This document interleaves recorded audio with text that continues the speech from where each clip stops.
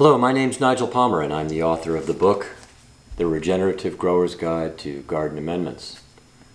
In this short video, I wanted to talk about crushing oyster shells. Oyster shells are a wonderful resource and represent an example of closing waste gaps. The oyster shells that I use come from a local restaurant. They have a whole bunch of uses. We've talked about vinegar extractions of shells and bones. In this case, I'm going to do a little bit more with these oyster shells. I'm going to crush them.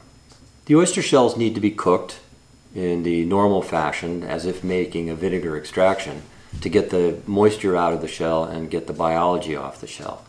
Once they're cooked, they can be crushed and I like to crush them into various sizes, increasing the surface area as they go towards a fine dust. It's all about surface area.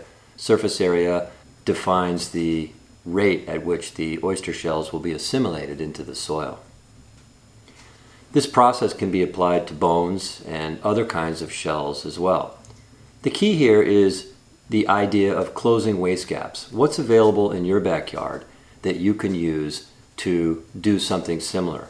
and what simple tools might be available for you to be able to crush these resources into a fine powder that can be used in the garden. I use oyster shells in a very fine powder when I plant my crops, when I transplant. The larger sizes can be used in the compost pile. All right, so I need some more oyster dust to, to plant my tomatoes today. So I thought I'd show you uh, the process of getting various levels of uh, oyster dust. The process starts with oysters that I get from a local restaurant. And uh, I take these and I cook them. I cook them on the grill or in a fire pit in a can. And it gets all of the biology off them. Um, and they're dry and they'll break up easily um, and turn into a nice powder. So the first step is to take these larger shells and break them up into smaller shells. And I made this tool, this is nothing more than a pipe with a, uh, a plug at the bottom of it. And I use this to break things apart. There. The next step is to start straining things out. And I want to get different size for different uses. So this first step merely takes the big pieces out.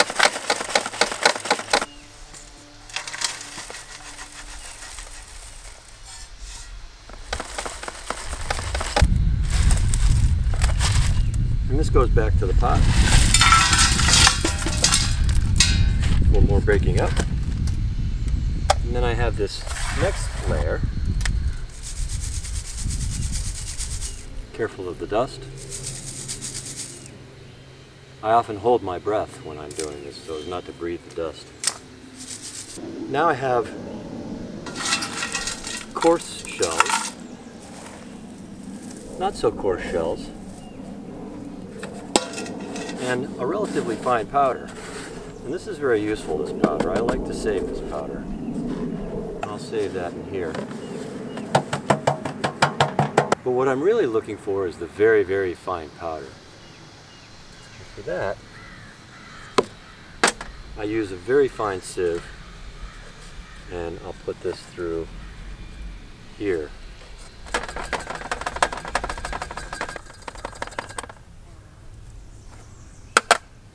So that quick process gives me four levels of, of shells. I've got the coarser shells that I broke up. I've got the next level of relatively fine shells. Then I've got the next level of shelves, which is, I can use this for planting, um, things like that. But I have the fine dust, which I like for transplanting and for feeding the soil before I plant. For a next level of breaking things down, I'm going to take this intermediate level and I'm going to put it in my rock crusher. And this is nothing more than a, a piece of pipe that I've welded a bottom to and it fits this so that I can there.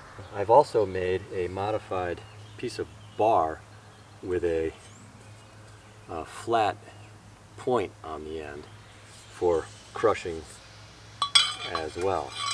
So now I'll take this stuff that's pretty well broken up and pour it in and crush it.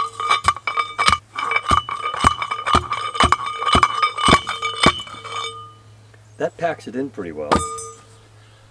And then with this tool, makes it a little finer. And now I go to here.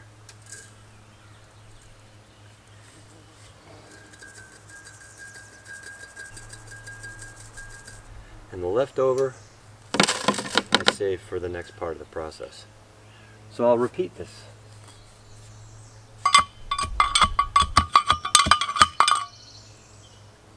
So things are moving along pretty well and I'm getting various levels of crushed oyster, oyster shells for use in my garden. And then I've got this which I just crushed through the crusher and uh, this is what didn't make it through the very fine sieve. So I'll put that in here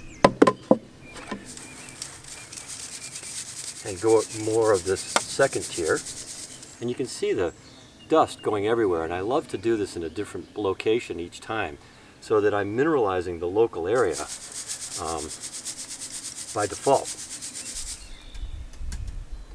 Again, I'm always conscious of the wind and hold my breath when uh, I'm doing this.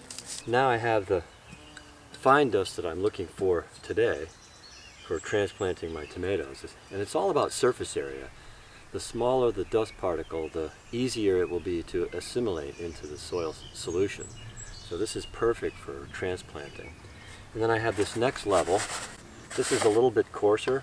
This is good for transplanting as well. It'll just take a little bit more time for the material to get into the soil.